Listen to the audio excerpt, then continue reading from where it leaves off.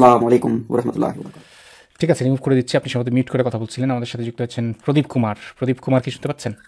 হ্যাঁ ভাই শুনতে পাচ্ছি। আপনি ভালো আছেন? হ্যাঁ আমি ভালো আছি আশা করছি। আপনি ভালো আছেন? বলেন তাহলে। আহ, আপনাদের এই যে লাইভটা আছে আসিফ ভাই লাইভ অনেকদিন থেকে শুনি তো তো আমি চেষ্টা করতেছি যে কালকে থেকে যে কীভাবে সংযুক্ত হওয়া যায়। তো কালকেও আমি আসিফ ভাই ওখানে সংযুক্ত হইতে পারছিলাম। আজকেও আপনার এখানে পারলাম। তো ভাবতেছি যে এখন পারব মনে হয় সংযুক্ত। তো আমার একটা প্রশ্ন যে মনে করেন যে আমি কিন্তু হিন্দু ধর্মের। তো আমি হিন্দু ধর্মের যে আপনি হয়তো বুঝবেন কিনা সেই বিষয়টা যে মানে কীর্তন হয় কীর্তন। মানে যে অষ্টপ্রহর বলে সেখানে যে কীর্তন হয় সেখানে যে আমাদের এখানে যে কীর্তনীয়টা আছে যেমন আমি যদি একজনের নাম বলি যে প্রদীপ পাল কীর্তনিয়া। তো কীর্তনিয়া মানে যে বেটা কীর্তনটা করে তাই তো? হ্যাঁ হ্যাঁ হ্যাঁ। ওকে ওকে। যে ধর্ম সম্পর্কে যিনি আর কি বলে আর কি। ইন্টারেস্টিং তো তাটা তো আমি কখনো দেখি নাই যে অন্য ধর্ম সম্পর্কে যে গুজব নটানো মানে অন্য ধর্ম সম্পর্কে বলা যে অমুক ধর্মে এটা করা যাবে না, এটা করলে এটা শিরিক হবে। মানে যেমন ইসলাম ধর্মে যে ওয়াজ মাহফিলে বলে যে হিন্দুদের মুক্তি পূজা আমাদের শিরিক, ঠিক আছে? মানে বেশিরভাগ আমি দেখছি যে ওয়াজ মাহফিলের মধ্যে যে ওরা হিন্দু ধর্ম সম্পর্কে না বললে মনে হয় যে ওদের ওয়াজ মাহফিলই হবে না।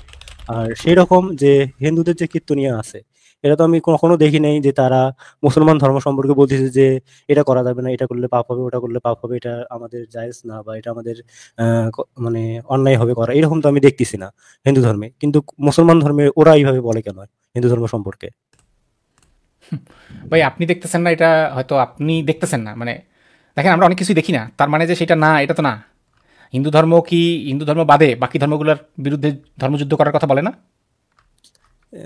হ্যাঁ বলে। কিন্তু না আমার কথা হচ্ছে আমাদের বাংলাদেশে তো আমি দেখছি যে মানে এখন বাংলাদেশে চলে গেলেন? আচ্ছা। মানে শোনেন আমি আপনি আমি আপনি বোধহয় নতুন শুনছেন তাই তো? আমাদের এই আলোচনাগুলো তাই তো? নাকি মানে এই যে আপনি যে বললেন জাসিফ ভাই লাইভ আমার লাইভ বোধহয় নতুন শুনছেন তাই তো? নতুন বলতে হ্যাঁ মোটামুটি নতুন হ্যাঁ, ঠিক আছে। ঠিক আছে তাহলে ঠিক আছে তাহলে আপনাকে আমি একটা জিনিস জানিয়ে রাখছি যে আপনি যেই ধ্যান ধারণা নিয়ে বা যেই যেই আশা নিয়ে লাইভে যুক্ত হয়েছেন সেই আশাটা নিয়ে আমার লাইভে যুক্ত না হলে আমি খুশি হব ঠিক আছে? আমি আমার লাইভগুলো আরও কিছুদিন শোনেন। আমি কিন্তু মোটেও এখানে কোনো একটা নির্দিষ্ট ধর্মের মানুষকে পুন্দানোর জন্য এখানে আসিনি বা নির্দিষ্ট ধর্মকে পুন্দানোর জন্য আসিনি। আপনার যে রামকৃষ্ণ এগুলোরও আমি কিন্তু পুন দেই। আপনার যে শিব শুনে নেন কথা শুনে নেন কথা শুনে নেন কথা শুনে নেন। আপনার দুর্গাকে আপনার কালিরে আপনার কালিরে কিন্তু আমি রীতিমতো কালিরে আমি ডিজায়ার করি। কালীর সাথে সঙ্গম করার জন্য আমি কিন্তু ডিজায়ার করি। কালীকে অত্যন্ত আবেদনময়ী মনে হয় আমার কাছে। সো একমাত্র কালীকেই বোধহয় আমি হচ্ছে ঘৃণা করতে পারি না চাইলেও, কারণ তাকে যেহেতু আমি, তার সাথে যেহেতু আমার সঙ্গম করার খুবই ইচ্ছা, সঙ্গম হোগা কি নেই বল রাধা, বল বল কালী, বল সঙ্গম হোগা কি নেই সো আর শিবকে, শিব শিব, কৃষ্ণ, বিষ্ণু, ব্রহ্ম এগুলো যেগুলো আছে, আমি কিন্তু এগুলারে ভাই পুন্দাই কিন্তু হয়তো আমাদের যে অতিথিরা যারা যুক্ত হয় আলোচনাগুলো টপিকগুলো তো তারাই আসলে নির্ধারণ করেন। কারণ তারা কিছু একটা বললে তখন আমি সেটা রেসপন্সটা করি। সো সেই কারণে বেশিরভাগ সময় দেখা যায় যে ইসলাম ধর্মটা আসে। আলোচনায় বা মুসলিমদের বিষয়টা আসে। কিন্তু ভাই, আমি একজন, আপনি নিজে একজন হিন্দু, আপনার কাছ থেকে আমি এই অন্য ধর্ম নিয়ে মানে ইসলাম ধর্ম নিয়ে বা খ্রিস্টান ধর্ম নিয়ে আলোচনা আমি শুনতে কখনোই হচ্ছে কমফোর্টেবল ফিল করি না। আনলেস আমি আপনাকে চিনি।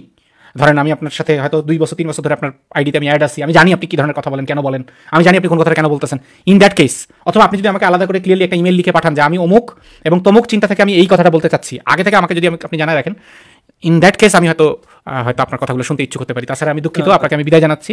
আমি আসলে শুনতেও ইচ্ছুক না আপনার কথা। শুনতেও ইচ্ছুক না। কেন? কারণ আপনি ওই যে হিন্দু আর হিন্দু ধর্ম আর ইসলাম ধর্মের মধ্যে যে তুলনাটা সেটা এনে হাজির করেছেন ফিল্ডে মানে আলোচনার টেবিলে সো এই কারণেই আর কি দুঃখিত। আমি সরি আমি আমার আমি আগে আরও কড়াভাবে অপমান করতাম কিন্তু আমি যেহেতু আমার হচ্ছে অডিয়েন্সের কাছে আমার শুভাকাঙ্ক্ষীদের কাছে হচ্ছে এক ধরনের প্রতিশ্রুতি দিয়েছি যে আমি, ঠিক আছে, আপনাদের সকলের ইচ্ছা, আস্তে আস্তে আমি এটা কমাই ফেলব, যান, ঠিক আছে। সো সেই কারণে আমি পারতেছি না আপনারে অপমান করতে, আমার মন চাচ্ছে না, তাই আপনাকে আমি ভালোভাবেই বললাম। আপনি দয়া করে এইরকম কাউকে খুঁজে নেন যারা হচ্ছে বসে আছে, যারা শুধুমাত্র অন্য ধর্মের, বা নির্দিষ্ট কোনো ধর্মের সমালোচনা করার জন্য, বা নির্দিষ্ট কোনো ধর্মের মানুষকে পুঁদানোর জন্য, আপনি ওরকম কাউকে খুঁজে নেন হ্যাঁ? আপনার সেখানে আপনি হয়তো ভালো ফিল করতে পারবেন। ওখানে আপনি একটা ভাই ভাই, একটা মানে ভ্রাতৃত্বের পূর্ণ একটা পরিবেশ পাবেন এবং আপনি ওখানে একটা মানে একটা একটা ফ্যামিলি ফ্যামিলির মতন একটা ফিল করতে পারবেন হ্যাঁ? আর এখানে আপনি খুবই খুবই অফেন্ডেড ফিল করবেন আমার আসলে। সো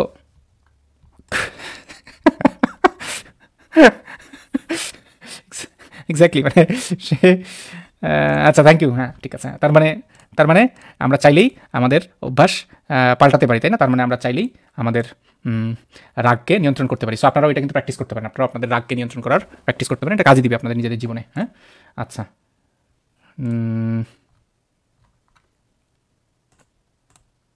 একজন তো গালাগালি দিয়ে ভরাই ফেলছে এটার বিদায় করে দিলাম। আচ্ছা আর একটা নিউজ শেয়ার করি আপনাদের সাথে আগে একটু। বিসমিল্লাহ। সৌদি, দুবাই, লেবানন ফেরত শ্রমিকরা জানালেন ভয়াবহ অভিজ্ঞতা। যেই চাকরির কথা বলে বিদেশে নেওয়া হয়, সেই চাকরি তারা পাননি। যেই বেতনের কথা বলা হয়, সেই বেতনও দেওয়া হয়নি। বাধ্যতামূলকভাবে শ্রমিকদের অতিরিক্ত কাজ করানো হয়েছে, চলেছে নির্যাতন।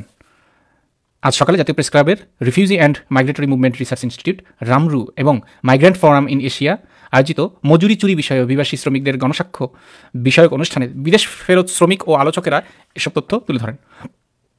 মজুরি চুরি বিষয়ে অভিবাসী শ্রমিকদের গণসাক্ষ্য। সো সেখানে অনুষ্ঠানে সৌদি, দুবাই, লেবানন থেকে করোনাকাল ও এর আগে ফিরে আসা বারো জন শ্রমিক তাদের ভয়াবহ অভিজ্ঞতা তুলে ধরেন। তাঁরা দেশ থেকে যাওয়ার সময় স্থানীয় দালাল ও রিক্রুটিং এজেন্সির মাধ্যমে প্রতারিত হয়েছিলেন। মুসলিম মুসলিম ভাই ভাই যারা বলেন, তারা আসলে হয়তো কোনোদিন ওই দে- দেশে হয়তো কখনো যান নাই বা ওইভাবে হয়তো তাদের মুখোমুখি হন নাই বা তাদের সাথে হয়তো মানে তারা কেমন এই খাইসলাতগুলো দেখেন নাই তো এই জন্যই হয়তো তারা বাংলাদেশে বসে বলে দেয় যে মিস- মুসলিম মুসলিম ভাই ভাই কিন্তু অ্যাকচুয়ালি তারা আমাদেরকে ভাই মুসলিম মনে মানে ভাই তো মনে করেই না, তারা হচ্ছে আমাদেরকে রীতিমতো মিসকিন মনে করে।